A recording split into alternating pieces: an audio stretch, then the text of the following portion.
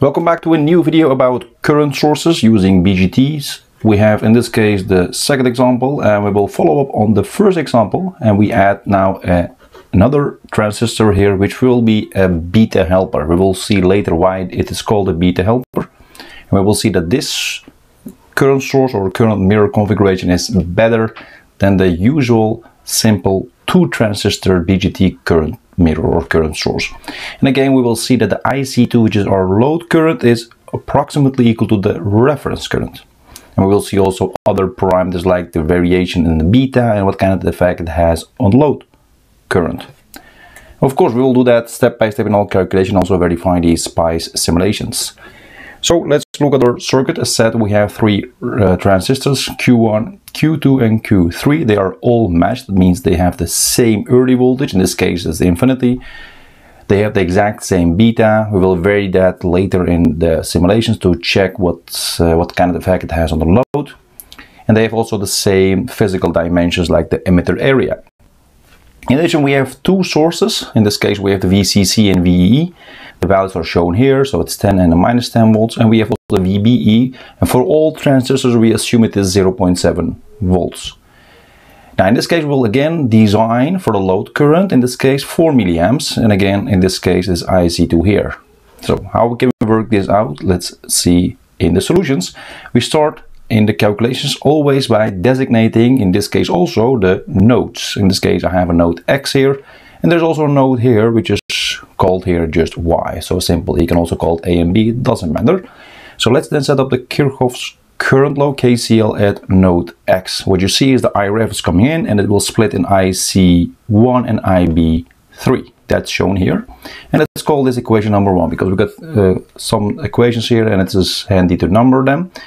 We'll also set up the Kirchhoff's current law at node Y. You see here the IE3, which is the emitter current of the Q3, that will split in IB1 and IB2. That's shown here and also name that another equation, equation number two. Now, since we know that again in this case the VBE1 and also VBE2, which is the base emitter voltage for the Q1 and also for the Q2, they're exact same because this potential exact same for both of them.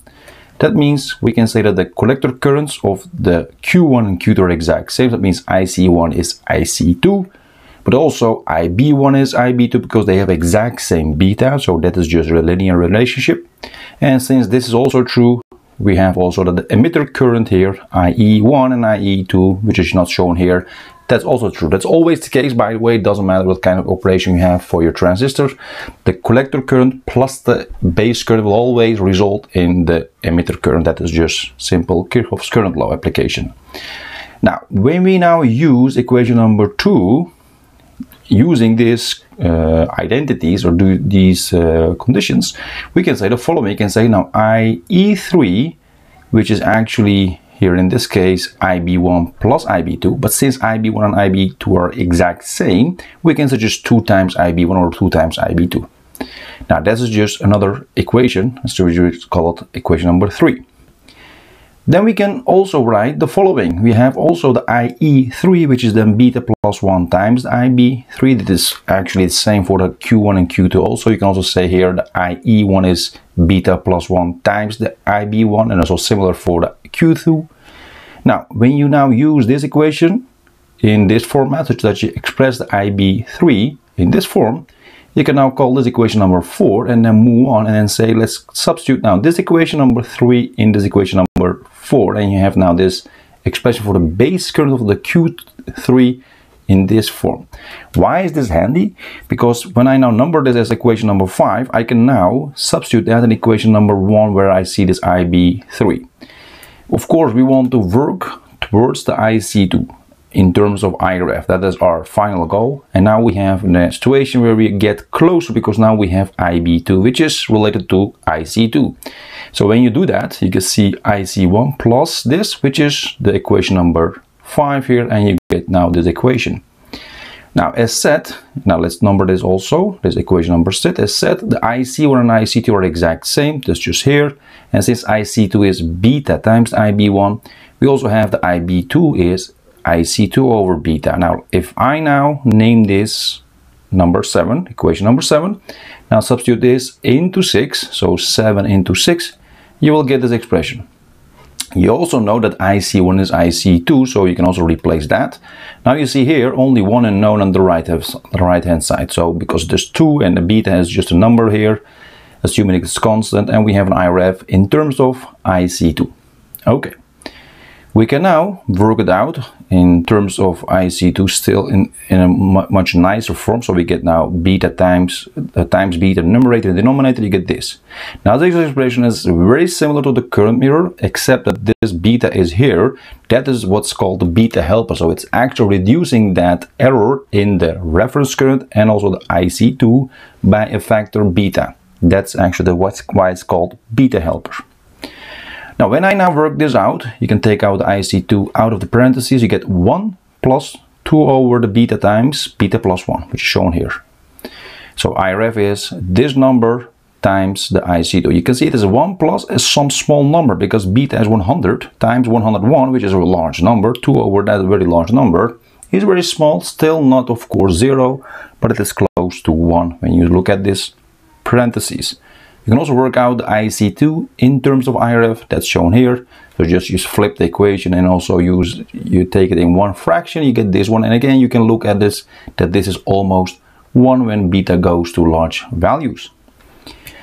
Now, when we have our situation, we can use the beta and also our uh, given value for the uh, load current, which is 0 0.004 or 4 milliamps. You can now calculate what the required reference current must be. It is very close to 4 milliamps, but it's just 4.0008 milliamps. So that's why we have. So actually you get 0.8 microamps, a little bit larger than that one. So we can now use this. So what's the next step? The next step is using this in our calculations. We now look at Kirchhoff's voltage law because we need to calculate this R and for that we need to have the voltage drop across this. Now we can now set it up. You can say the VCC is equal to R times the reference current, that is just Ohm's law, plus the VBE3 plus the VBE1 or VBE2, doesn't matter, plus the VEE. So we have now the equation here. Now I need R, I have actually the rest of the parameters because I just calculate the IREF and the rest I know from the given. So I can say R is equal to VCC minus the VBE3 minus VBE1 minus VB, VEE over the reference current IREF. Now, if I now substitute that, this is 0.7, this is 0.7, this is minus 10, so you get the minus minus 10, so be careful with that. And you have now IREF here. And if I now substitute that, which is of course this 4.0008 milliamps, and this is 18.6 approximately uh, exactly the numerator. And you will get now 4649 ohms. So it's almost 4.65 kilo ohms for our resistor. Now that is actually the whole calculations. Of course we need to check that so let's do that in the simulations. This is a simulation uh, simulator circuit. You can, see, you can see here the first VCC and VEE so two DC sources so grounded in the middle we see the reference and also our calculated value for R. Now, you can already see that it is not 4 milliamps, it is larger, so you can see it is 31 microamps larger. And it is also here that is not exactly as we have calculated, so it's also a little bit larger. So what can we do? We can fine tune. You can also say this is fine, this is good enough. So the error, I don't uh, mind, I don't I accept that for the practical purposes, which is perfectly possible. But if I want to fine tune this, I did that. I have changed again the R and increase that in order to reduce this current and also reduce again that current because this is a lot larger than what I have calculated here. So I go from 4649 to 4685. So it is not that much uh, increase. So it is, if I look at it, it is 36 ohms, so not that much. So if I do that, you can see that here then it is 4 milliamps exactly, and here 4.001 milliamps, which is actually a rounding of here, and the rest is exact same. You can also see that IC1 is exact same as IC2, which we have also used, and IB1 and IB2 is also equal to each other. You can see it's 40 micro because it's just divided by 100 of the 4, 40, uh, 4 milliamps. So this is verified, we can say we have actually achieved our goal for this analysis. Now, let's look at it more detail in our simulation results and see what this load voltage change will do with the load current. Now, I have now uh, disabled this part. So I have actually put here a sweep or a changing voltage. You can see that here. And I will now see what this current IC2 will do if I change this VL. And there is the exact same. So you, you will use the tuned value for R, uh, what we have calculated, and also put these two DC sources, so the VCC and VE, on top of each other, so they have actually 20 volts here. So I've placed, replaced the ground here. So what happens? Let's see. This is the plot. You can see the load voltage going from 2 volts to 20, so instead of uh, in, uh, in this uh, format.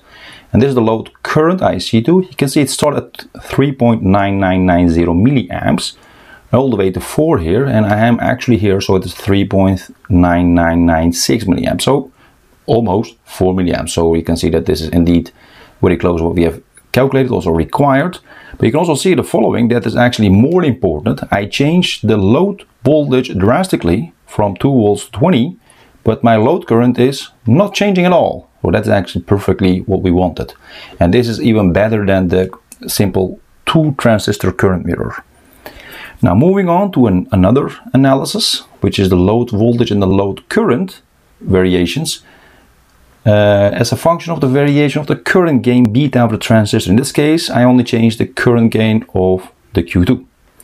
So then we have the following situation. This is another plot. You can see for four different values of the beta. You have the blue, the, uh, the brown one, we have the pink and also the green one. It's the beta 50, 100, 200 and 500. This is the load current for each of the beta values and this is again the load voltage.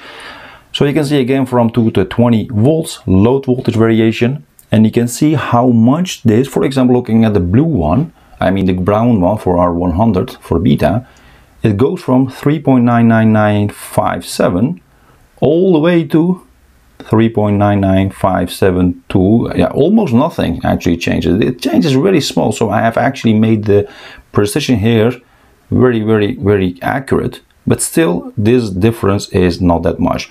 What's the conclusion here?